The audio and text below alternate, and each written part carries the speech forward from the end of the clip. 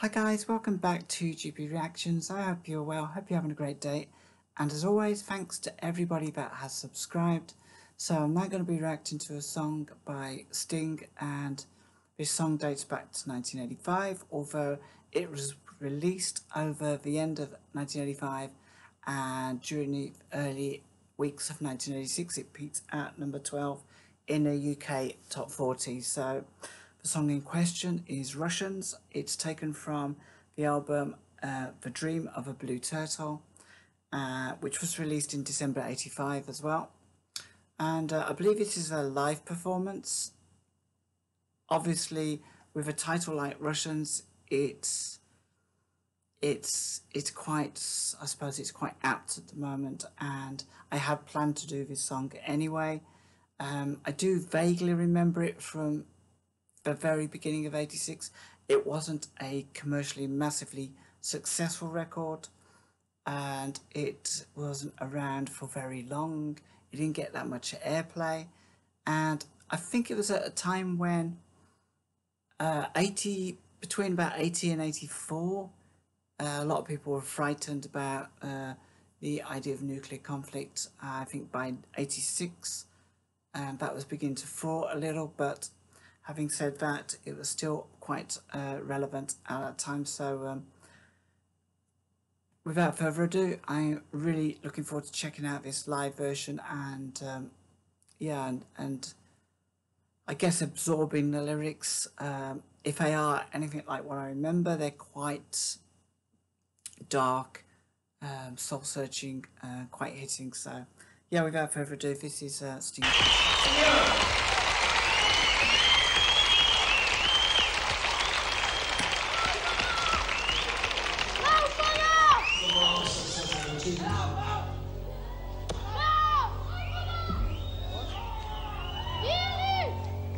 This song is um it's called I Hope the Russians Love Their Children Too. Of course they do.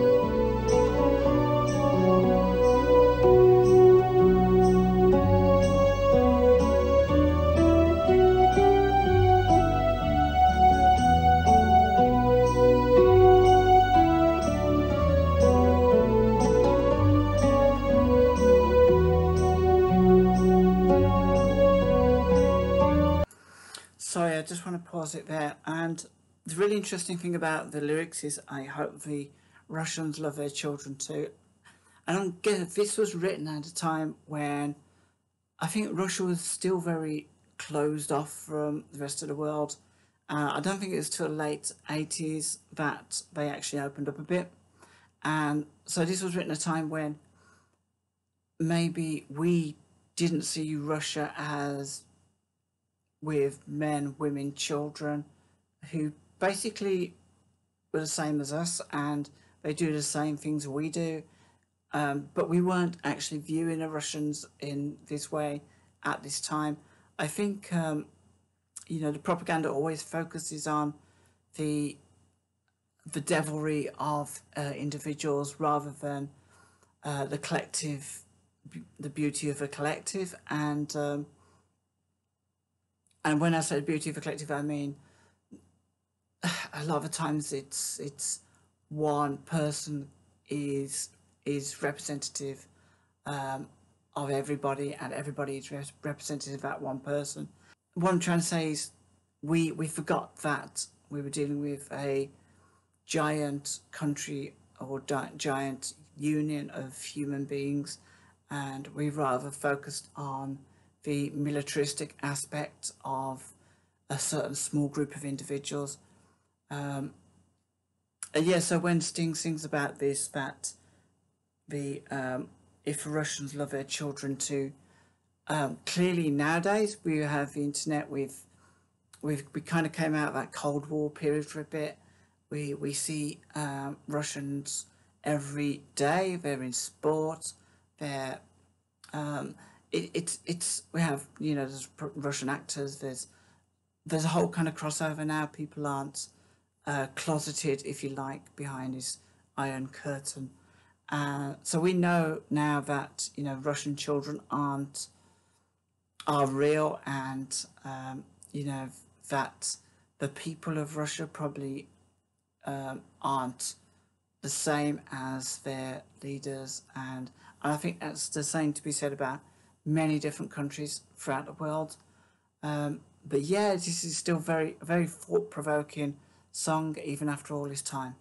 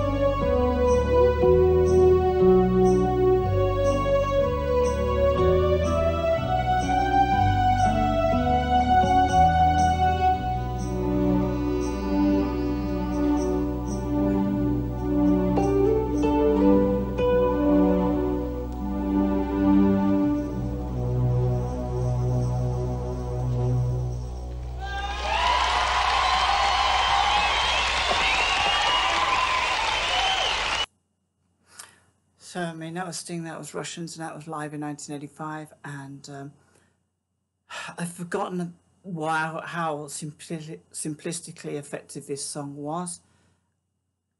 Um, it almost kind of felt like it was an acoustic set, really, but um, I think there was some percussion probably going on. Um, I like his guitar work as well, by the way.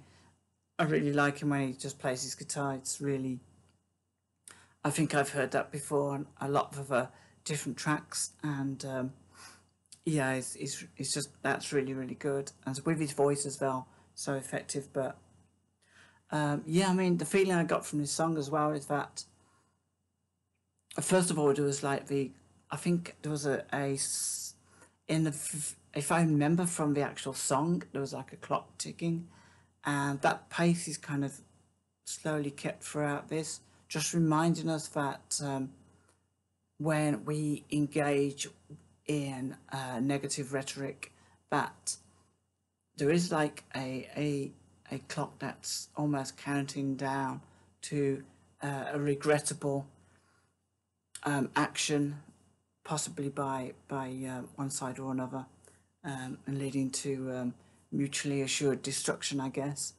Uh, and this has, has this has happened nearly uh, a couple of times.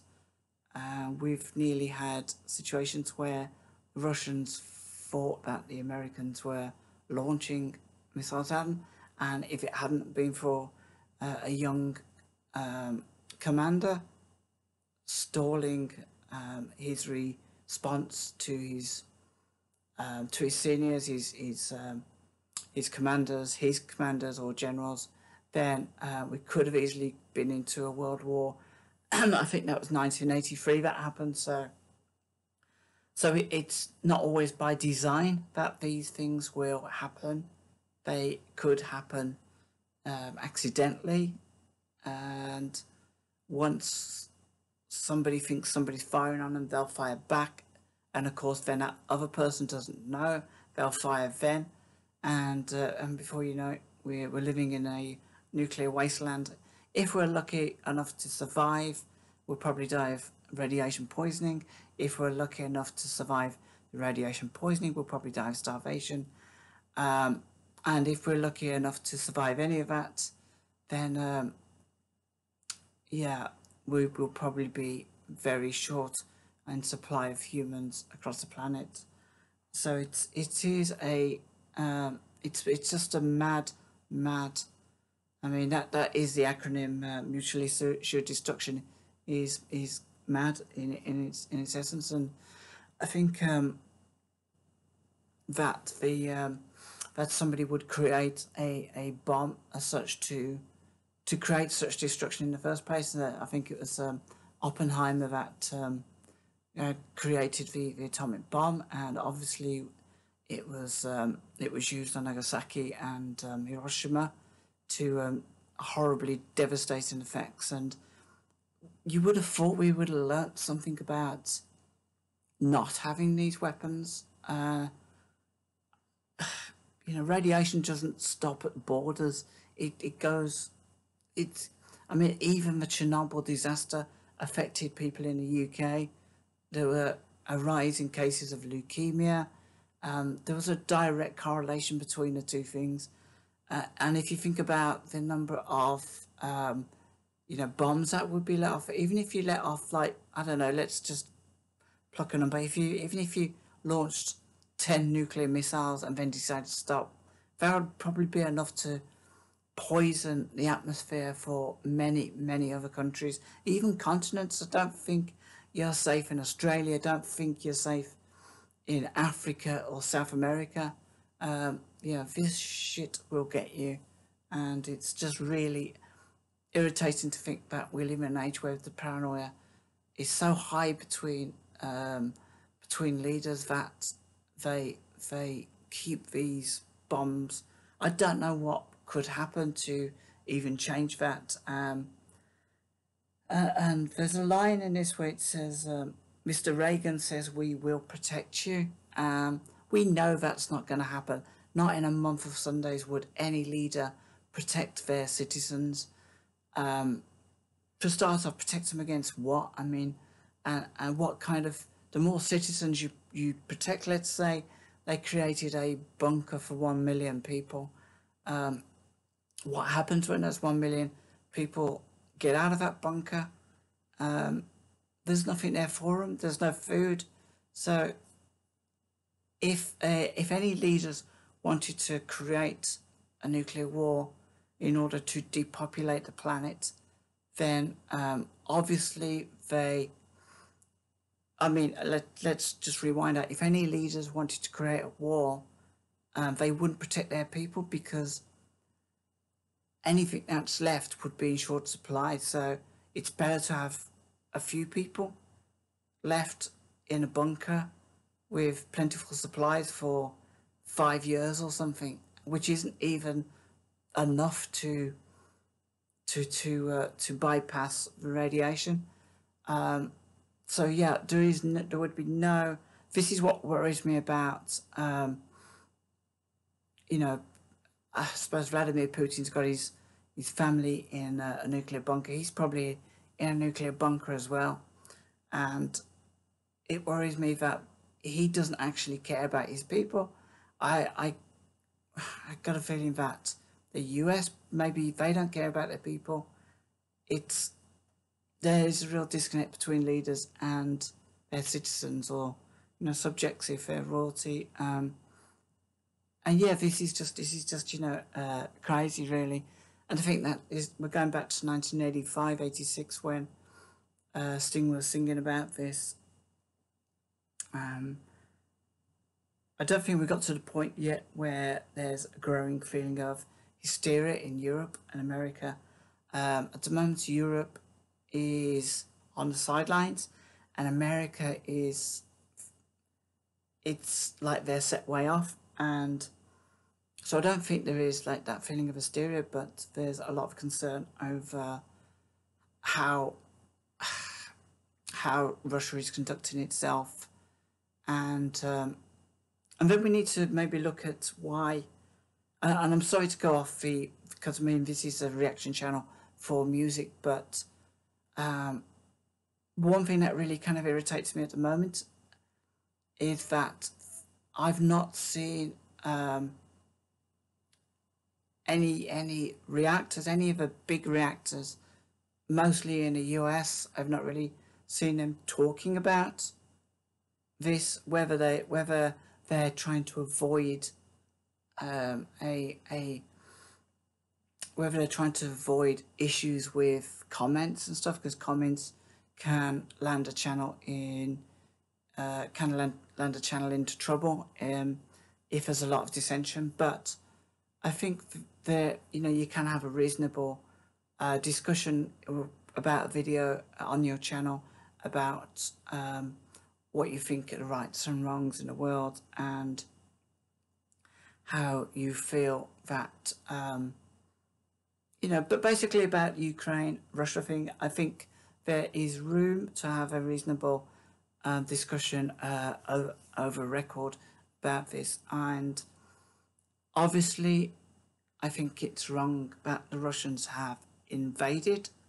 Um, I think whatever historical um, gripes they have over Crimea and, you know, even over Ukraine, I think the first thing they should have been doing is sitting down and, you know, uh, talking about this and trying to uh, come to solutions um, because as soon as they invade, it becomes um, a completely different issue.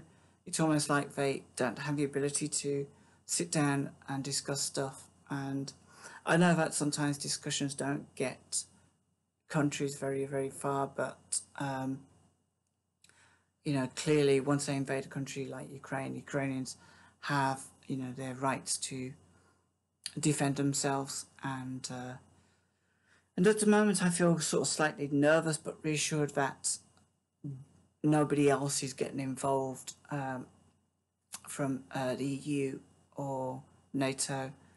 And you know I'm hoping that the whole situation will resolve at some point because uh, I honestly feel that I think, oh God, it's, it's going to make me sound like re really daft, but I just want you know, to be a bit more peace in the world. We seem to, um, you know, we seem to. I mean, just just recently we withdrawn from Afghanistan, and um, you know, then there's the whole Syria thing, and it just seems to be like one war after another, and it doesn't really seem to have much purpose, to be honest. Uh, and this just seems like another thing. I mean, if the Russians really hold Kiev to their hearts, then um, surely the, they won't destroy Kiev because, you know, that's an historically a very, very old city. And um, so they'd be destroying their history in order to, it just make, the whole thing makes no sense. Uh, I won't really kind of go into the lyrics. I think they're really self-explanatory. Um, interestingly, I'm just reading that um, Sting came up with the idea after he tapped into um, a Russian Russian TV via via a stolen satellite or something like that, stolen satellite signal, and he was watching um, a very sort of um, well put together children's television programming, which was, and he and that's when he kind of suddenly dawned on him that, you know, the Russians love their children too, and why would anybody want to be an aggressor with nuclear missiles when um, you know you just got to look out your window and you probably see children playing, um, women, children, um, culture and stuff like that. So it must have uh, it must have kind of awakened the idea of of of uh, pursuing this idea that there there really is uh, something worth um, not fighting for in the world, and that is the destruction of everyone you love, your cities, your culture, um, civilization as we know it. So um, I can't really think of anything else to say about this song. I, as I said, I found it very effective. It was very moody, very slow. At times, it was kind of there was a chilling instrumental bit, which I remember more so from the original studio version. Oh, it felt very cold, very isolated, um, very in in some ways kind of very rural, um, but yeah, it, it kind of felt like it was uh, uh, separate from reality, but nevertheless, it was it was almost counting down to a very cold reality of what the individuals would be doing next. Um, so yeah, um, yeah, there's nothing more I can really add to this. Um, I'm glad to be back. I'm, I hope you enjoyed this live version. He's Sting's got a fantastic voice, and uh, yeah, please leave some comments. Please be respectful in your comments. I um, I don't really want this song to spark arguments as such. Um, this isn't a political channel. This is about uh, songs and music, and obviously, a lot of songs have a place in history, in um, the social makeup of of um, of history as well, and you know it always will uh, create debates. I don't shy away from reacting to songs like these. Um, whether it's about Russia, whether it's about South America, America, uh, Northern Ireland. Um, I think if a song is is one that's good and it's memorable and it has meaning, then uh, it's worth uh, it's worth reacting to and talking about. But at the same time, if if my comment section descends into uh, mass arguments, then YouTube do look at these things and they will uh, maybe sanction my channel or they will re remove comments um, without me removing the comments and uh, and they may uh, withdraw my withdraw my channel completely if they think um, that it's uh, descending into uh, disrepute, disrepute um, which isn't my intention whatsoever. So anyway, guys, you know what? Take care of yourselves. Hope to speak to you soon and um, and really this is the first reaction of my day and I'll be doing uh, a number of others before I call it quits